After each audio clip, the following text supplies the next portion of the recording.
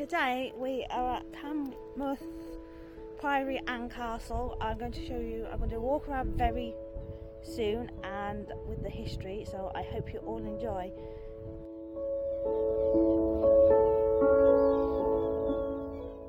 Tynemouth Castle is located on a rocky headland, known as Pen Bal Crag, overlooking Tynemouth Pier.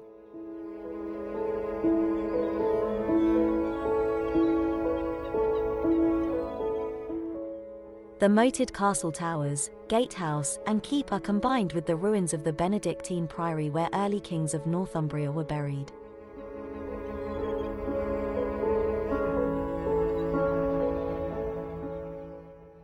The coat of arms of the town of Tynemouth still includes three crowns commemorating the tradition that the priory had been the burial place for three kings.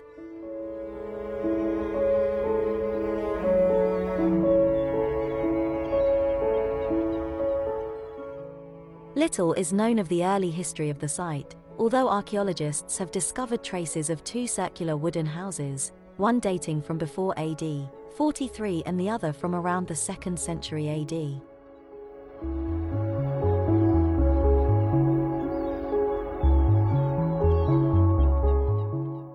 Some Roman stones have been found there, but there is no definite evidence that it was occupied by the Romans.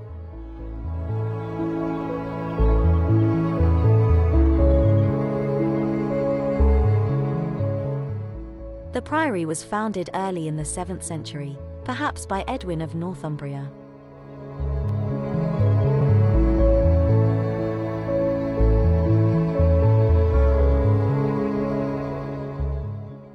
In 651 Oswin, king of Deira was murdered by the soldiers of King Oswiu of Bernicia, and subsequently his body was brought to Tynemouth for burial.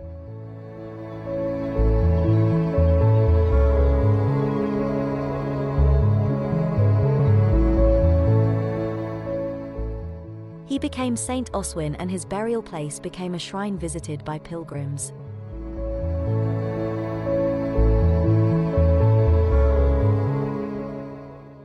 He was the first of the three kings buried at Tynemouth.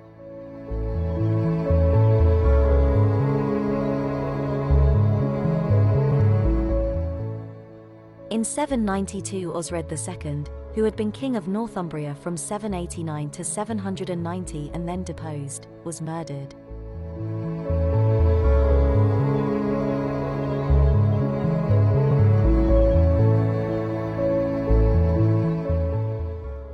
He also was buried at Tynemouth Priory.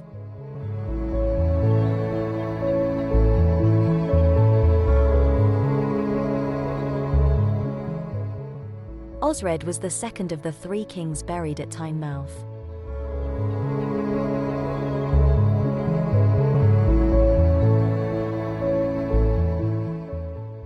The third king to be buried at Tynemouth was Malcolm III, King of Scotland, who was killed at the Battle of Alnwick in 1093.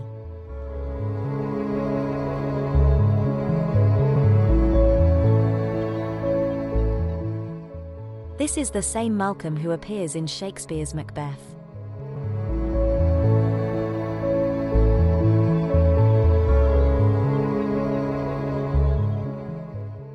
The king's body was sent north for a burial, in the reign of his son Alexander I, at Dunfermline Abbey, or possibly Iona.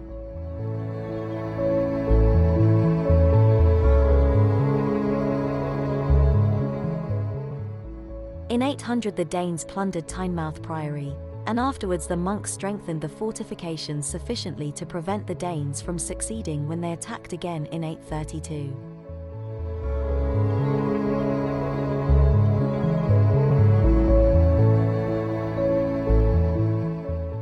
However, in 865 the church and monastery were destroyed by the Danes.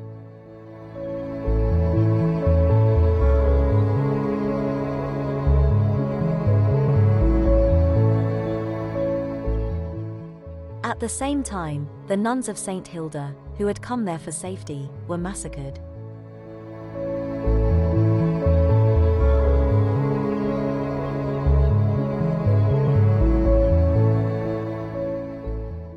The priory was again plundered by the Danes in 870.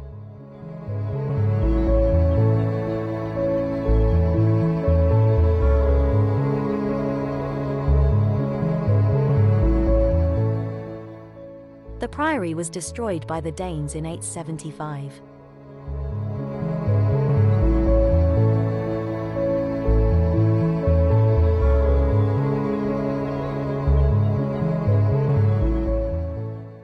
The small parish church of St. Mary remained.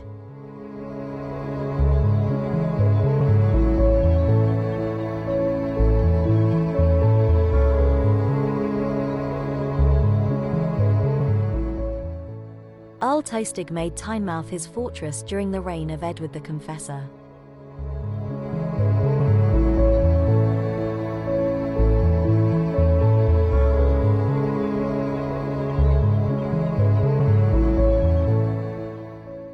By that time, the priory had been abandoned and the burial place of Saint Oswin had been forgotten.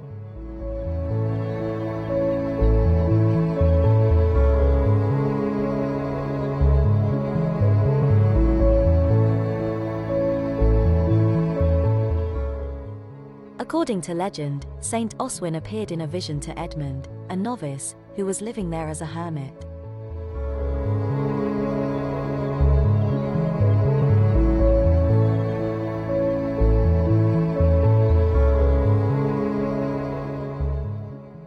The saint showed Edmund where his body lay, and so the tomb was rediscovered in 1065.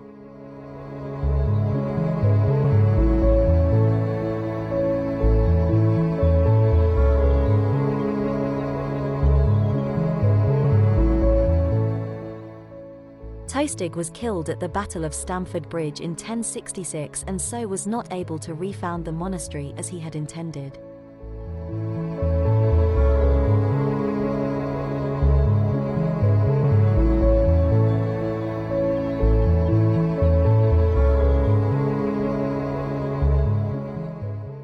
In 1074 Waltheof second Earl of Northumbria, last of the Anglo-Saxon earls, granted the church to the monks of Jarrow together with the body of Saint Oswin, Oswine of Deira, which was transferred to that site for a while.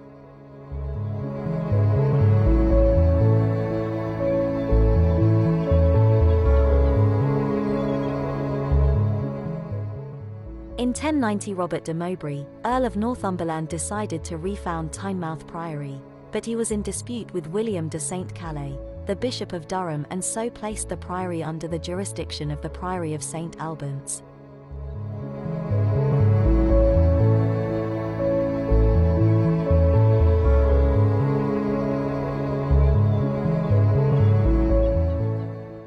Monks were sent from St. Albans in 1090 to colonize the new monastery.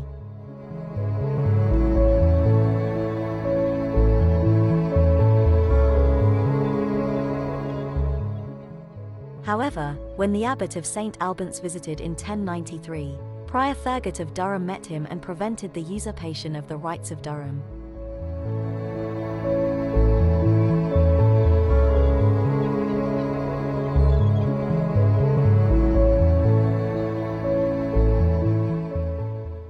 In 1091, seamen from William the Two ND's ships plundered Tynemouth and one victim appealed to St. Oswin, whose shrine was in the priory.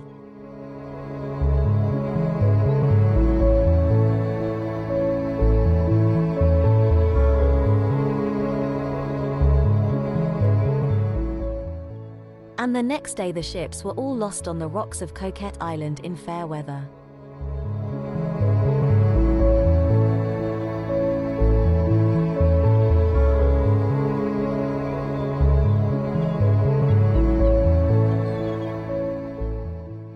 Thereafter, William Rufus held St. Oswin in great reverence.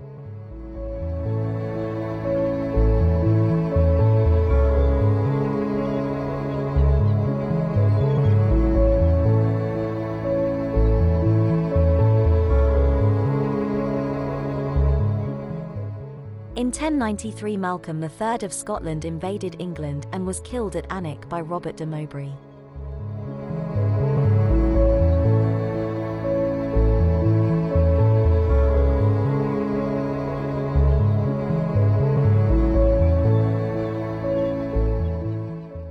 Malcolm's body was buried at Tynemouth Priory for a time, but it is believed that he was subsequently reburied in Dunfermline Abbey, in Scotland.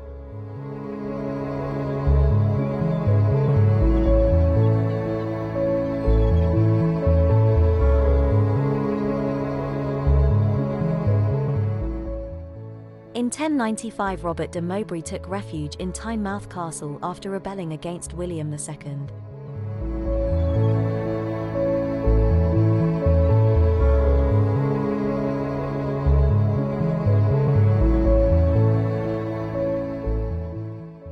William besieged the castle and captured it after two months.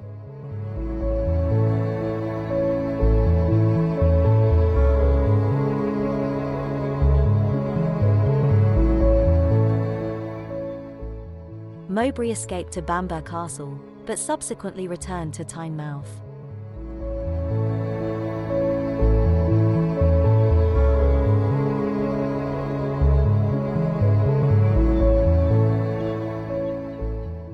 The castle was retaken and Mowbray was dragged from there and imprisoned for life for treason.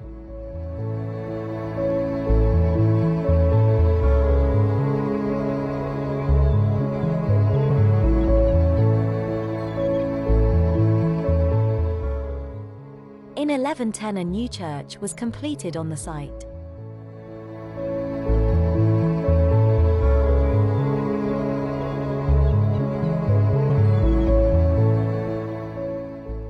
It is believed that at the time of Robert Mowbray's capture in 1095 there was a castle on the site consisting of earthen ramparts and a wooden stockade.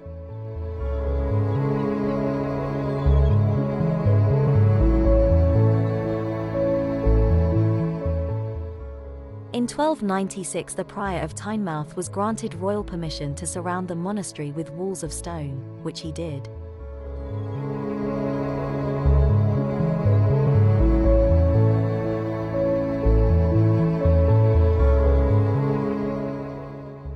The priory was attacked by Robert the Bruce in 1314 but was successfully defended by a garrison of 80 men.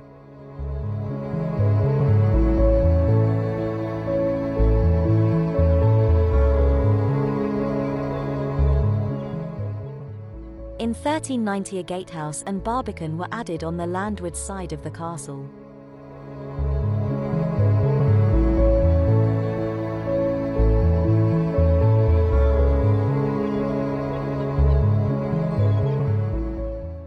Much remains of the priory structure as well as the castle gatehouse and walls which are 3,200 feet 975 mile in length.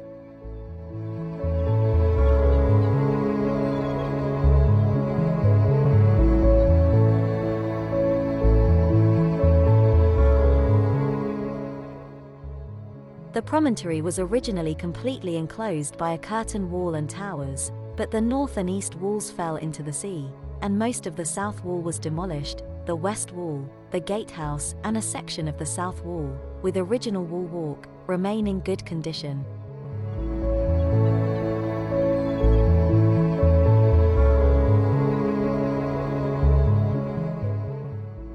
In 1312 King Edward II took refuge in Tynemouth Castle together with his favourite Piers Gaveston, before fleeing by sea to Scarborough Castle.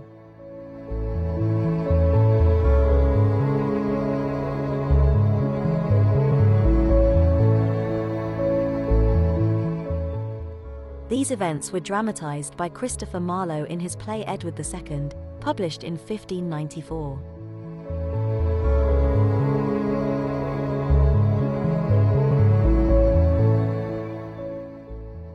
2 Scene 2 of the play is set before Tynemouth Castle, Act 2 Scene 3 is set near Tynemouth Castle, and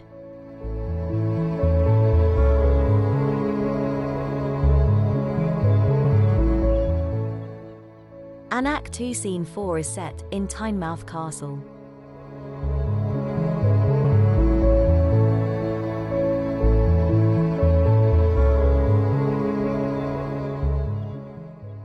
Tynemouth Priory was also the resting place of Edward's illegitimate son Adam Fitzroy.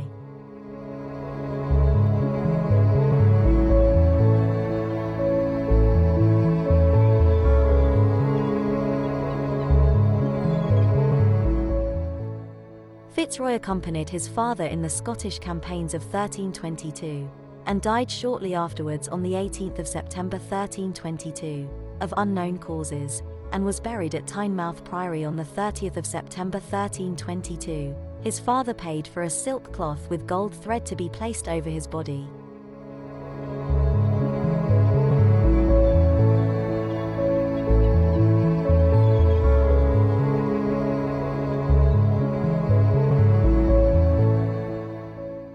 In 1538 the monastery of Tynemouth was suppressed when Robert Blakeney was the last prior of Tynemouth.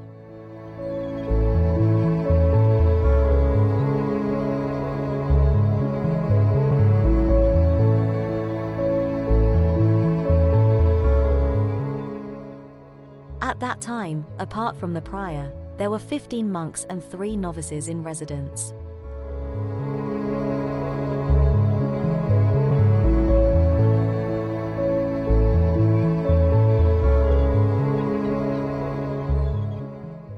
The priory and its attached lands were taken over by King Henry VIII, who granted them to Sir Thomas Hilton.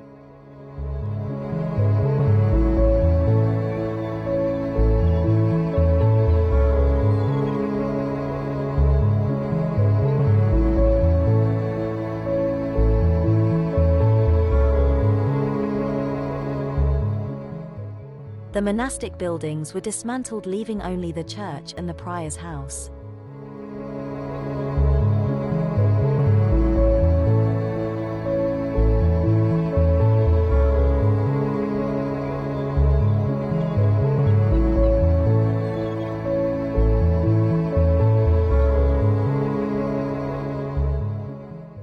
The castle, however, remained in royal hands.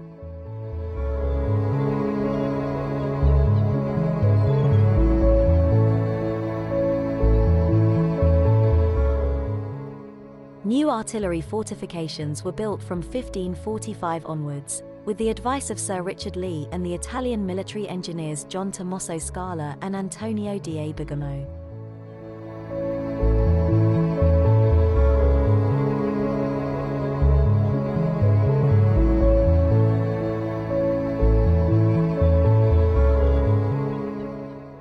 The medieval castle walls were updated with new gun ports.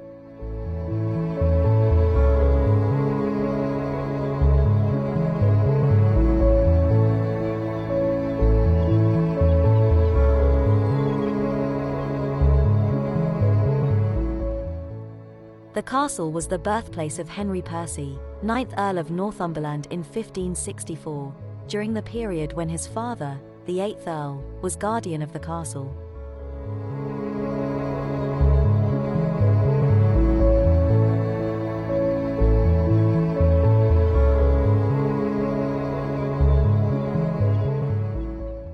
In May 1594 George Selby and Thomas Power, lieutenant of Tynemouth Castle, captured two fugitives from the court of Anne of Denmark who had stolen some of her jewels.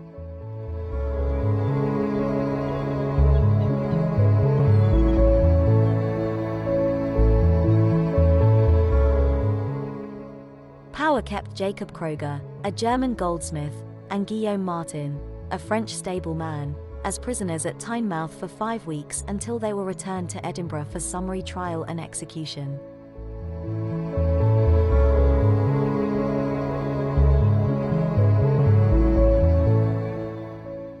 The church remained in use as a parish church until 1668 when a new church was built nearby.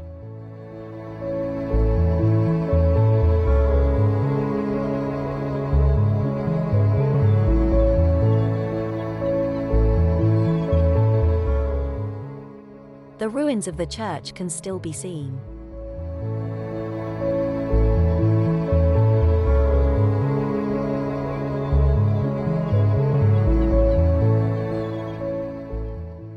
Beneath them is a small, 18 feet by 12 feet, chapel, the Oratory of St. Mary or Percy Chapel.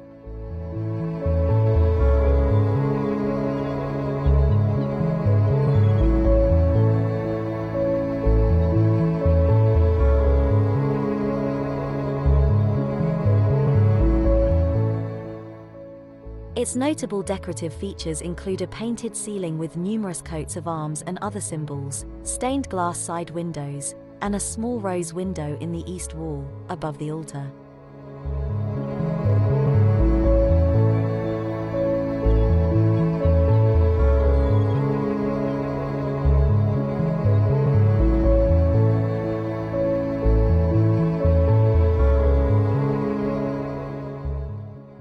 For some time, a navigation light, in the form of a coal fired brazier, had been maintained on top of one of the turrets at the east end of the Priory Church.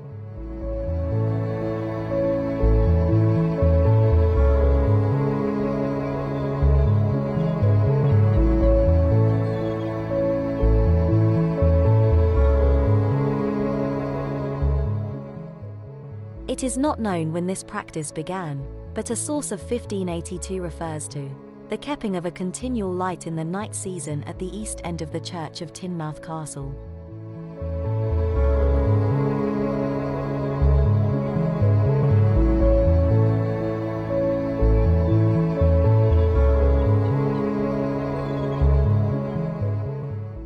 For the more safeguard of such ships as should pass by that coast.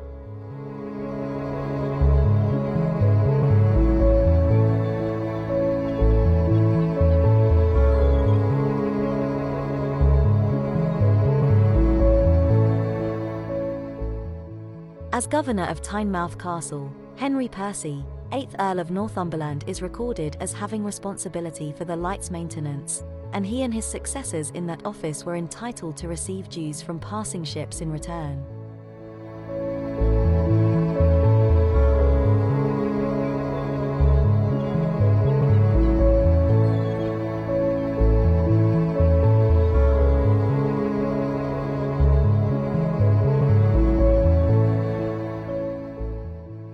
1559, however, the stairs leading to the top of the turret collapsed, preventing the fire from being lit.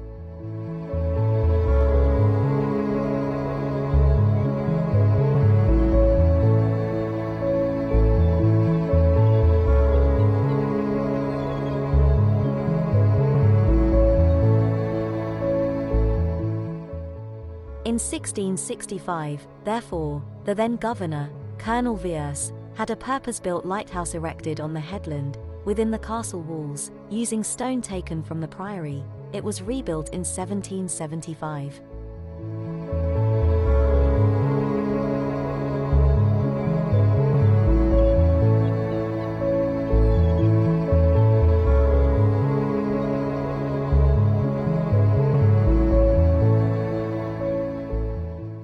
Like its predecessor, the lighthouse was initially coal fired, but in 1802 an oil fired Argand light was installed.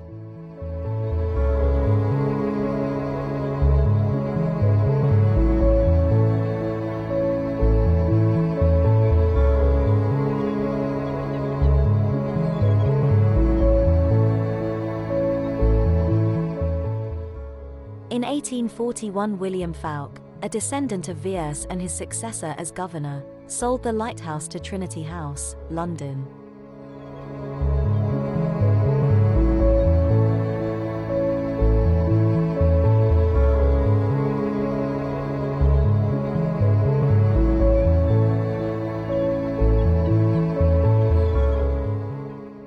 On the establishment of a lighthouse at Souter Point in 1871, the Tynemouth light was altered to display a revolving red light, rather than revolving white.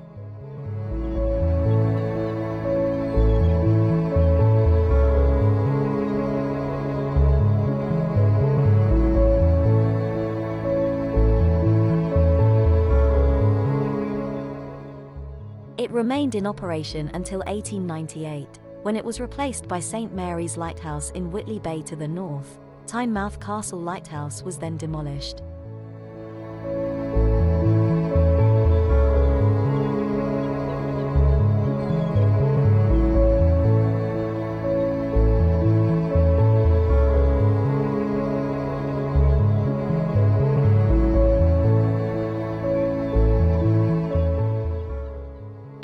The 19th century, the castle was used as a barracks with several new buildings being added.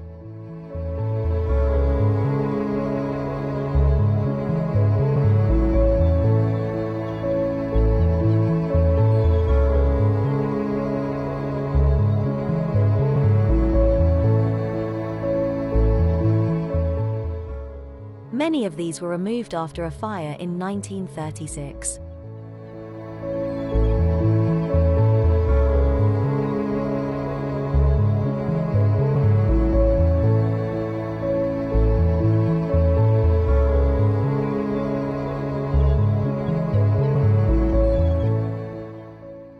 Castle played an important role during the Second World War when it was used as a coastal defense installation covering the mouth of the River Tyne.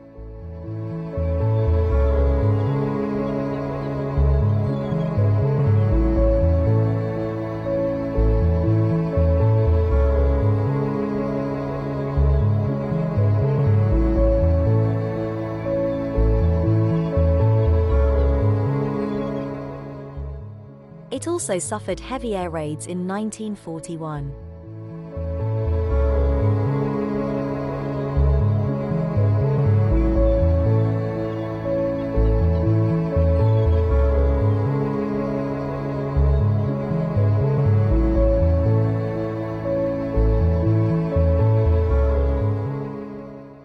Military structures remained in place until 1956 when the army departed.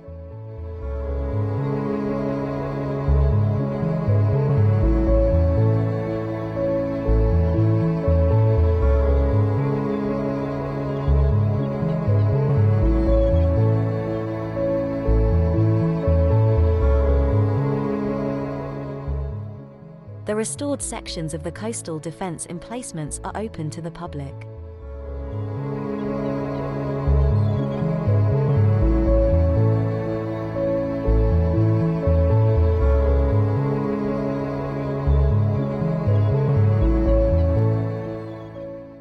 These include a guardroom and the main armory, where visitors can see how munitions were safely handled and protected.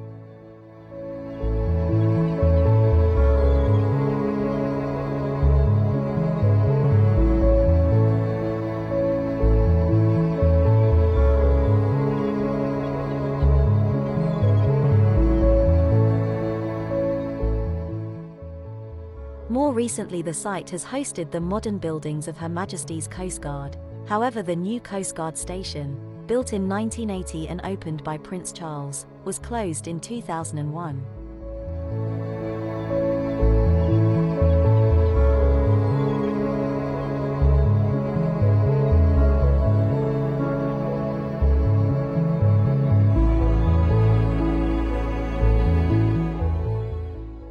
Tynemouth Castle and Priory is now managed by English Heritage, which charges an admission fee.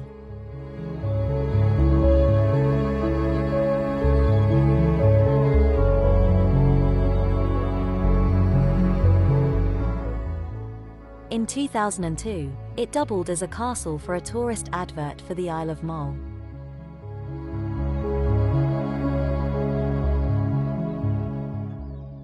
Let's take a look from the sky with Charlotte.